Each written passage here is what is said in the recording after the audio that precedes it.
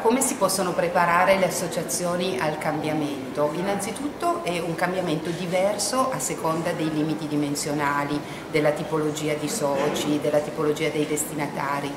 ai nostri associati la cosa che suggeriamo è innanzitutto di prendere bene consapevolezza di chi sei adesso, cioè chi sono i tuoi soci e perché eh, che tipo di vincolo hanno con te, che tipo di capacità decisionale, dove vengono prese le decisioni, qual è la modalità con cui l'associazione si finanzia. Innanzitutto una bella partenza è capire chi sei adesso bene.